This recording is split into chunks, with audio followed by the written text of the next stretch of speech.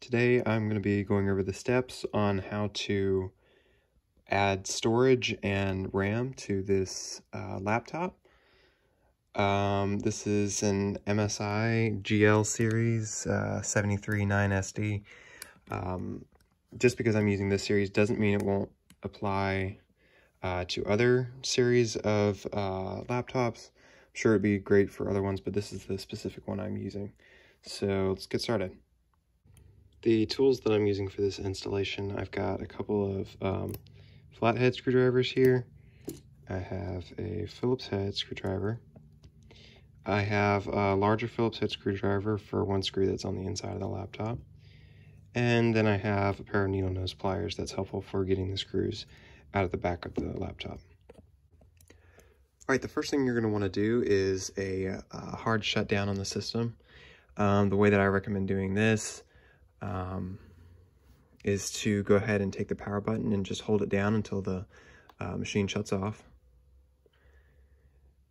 And you'll see it completely die right there.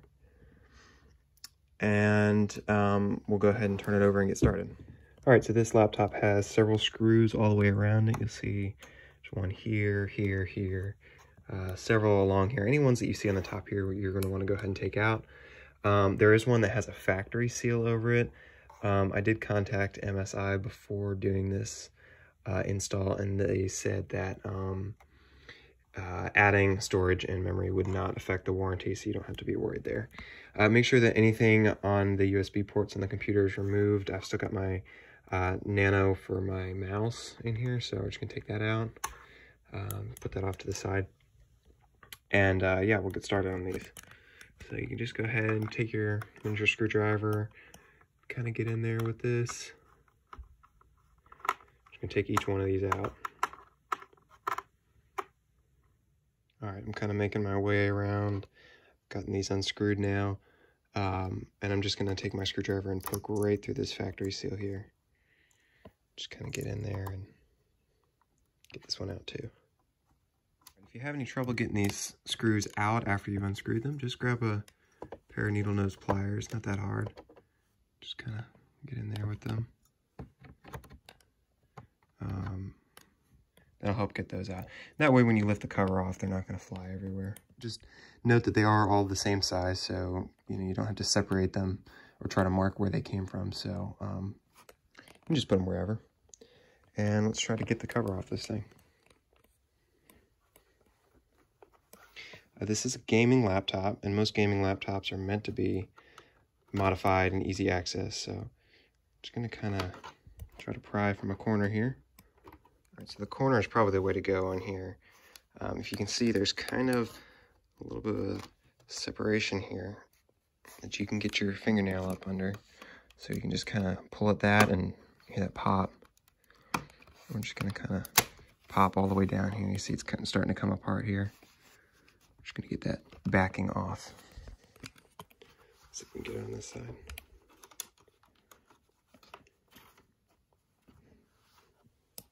Go along this edge.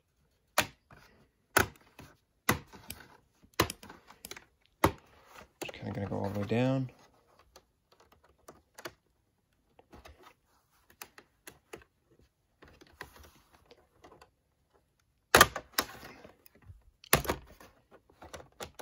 Right, now probably the trickiest part of this um, is actually getting this back portion off so you can actually take the entire lid off. Um, I've been kind of working with this here, uh, taking two flathead screwdrivers and then just kind of taking this and popping it out, kind of bending it here, like that. And it's coming there's another pop, takes a little bit of work. All right, now I'm kind of taking it with the screwdrivers and I'm kind of working it down the side here. Kind of trying to keep both of them in here at the same time to pry it open. You can see it's coming up right there.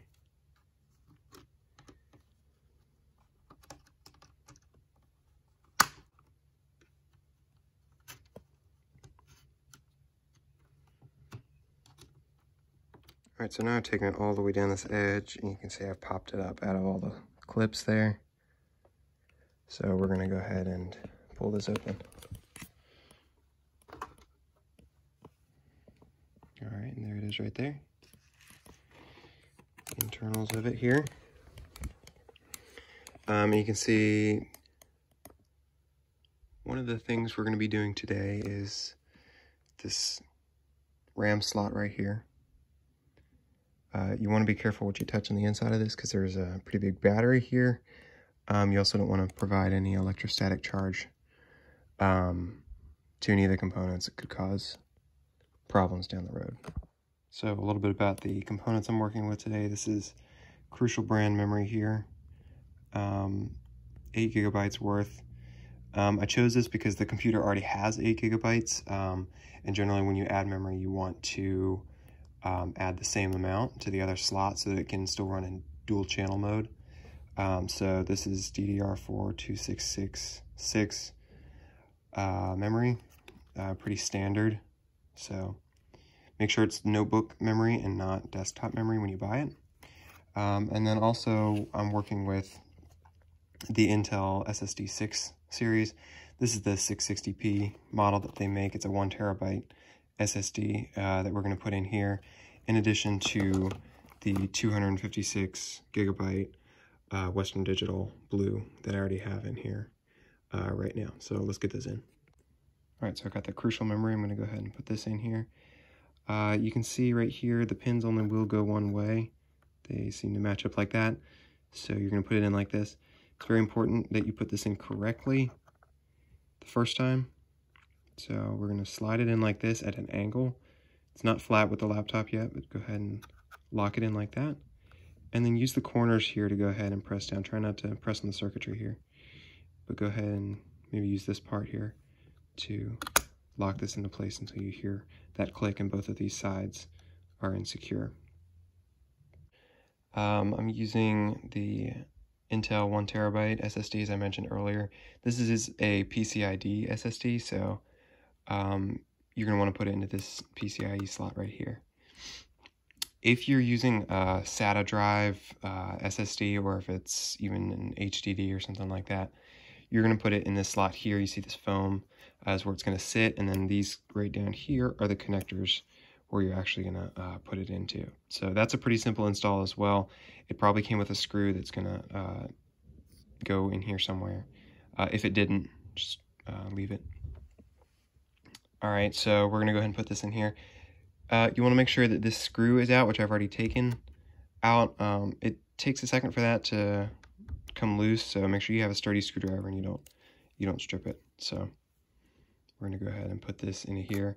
Uh, very similar to the RAM, you're to want to make sure that it's at an angle to begin with here. I'm going to put this in here. Make sure it's all the way in. You don't want to see any more of that gold connector down there. Um, and then we're going to grab the screw that I took out. And this is going to go all the way down in here. All right, so I've got that in there now with the screw um, down fairly tight as it was before. Uh, you see that it's all the way connected and we have both slots of RAM in here. So we're gonna go ahead and get the uh, case back on this. All right, when you're putting the case back on, the thing to do is gonna be to get this front part in here first. You really wanna anchor this down to begin with. Make sure all that is in. Nice and tight there. And then the sides here, let me get those in too. I found that the easiest way to do this is go ahead and open up the laptop and just take the edges and kind of pop them in this way. Don't be afraid to put a little bit of force into it. Uh, it's meant to be taken apart like this. All the way around. Get the screws in the bottom there. So we're just going to turn this over. Get this ready to boot here. Hit the power key. And while this is loading, go ahead and hit the delete key a few times. That's the MS, MSI trigger for the BIOS setup. So you can see on the main screen here, there's an option that says storage information. So I'm just going to use the down arrow key to get to that. And you're going to want to make sure that uh, it does read your SSD. So now we're seeing the Western Digital that I had, the 256 gigabyte, and then we're also seeing the Intel uh, one terabyte hard drive that I have. So you're just gonna go ahead and uh, escape is the key here. So we're gonna exit and then we're gonna exit again. Uh, quit without saving, go ahead and yes on that. And then we're gonna load into the laptop here. All right, so now we're into the laptop and one thing that you're gonna wanna check is also that it is reading the RAM that we just inserted. So um, a quick, easy way to do that is to hit your Windows key and R at the same time. And then you're gonna type in this command right here. It's dxdiag. And once you type that, hit enter. And it's gonna come up with a screen that shows a lot of information about your computer. And there it is right there, the memory reads 16 384 megabytes. All right, uh, one more thing that you may notice, uh, it's kind of important. Um, if you go to your settings on your computer, you'll notice that you do not have the other hard drive in here yet. Um, my other hard drive is still here. This is actually just my same hard drive, but it's partitioned into two. Um, so the one terabyte is not even showing yet. To get that to show up, we're gonna actually have to uh, initialize the SSD. So uh, we're going to type in another command. We're going to go Windows key R, like we did before. And then we're going to type in this command here, disk mgmt.msc. And we're going to hit enter on that. And this is going to take us to Windows Disk Management uh, section.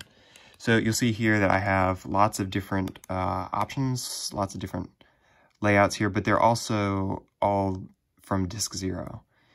Um, and this is the original hard drive that I had. Here's the one that we just installed, um, but it's unallocated space right now. This is a little bit different because sometimes you will have to initialize the disk before you can actually see that. So if that's the case, go down here and right click on the disk and then click initialize. It's not giving me that option because the disk was actually already initialized uh, just from putting it in. But if yours has to initialize, uh, just know that you need to right click and then select initialize. Okay, so if yours is showing unallocated, then what you're going to do is you're going to right click on it and you're going to create a new simple volume here. This is going to open this new simple volume wizard. Click next. And then um, we're going to decide what size that we want it.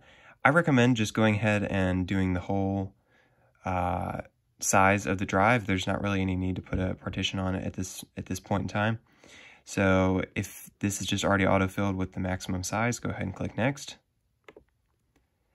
And then you're going to assign the drive letter, E, that's fine. Um, and then you're going to click Next. And then these here are a little bit different, but um, still nothing extremely strange. We're just going to leave all this in the default settings. Um, perform a quick format is fine because the disk is empty. And then we're going to click next. And it's going to give us just a review of what we already did. That's fine. So we're going to click finish. All right, and then Windows is going to show us the new volume here. Going back to this PC, we now see my original drive, uh, the partitions that I had, and then we see this one called new volume, which is the one that I just added. That's the terabyte drive. Please like if this video was helpful, and thanks for watching.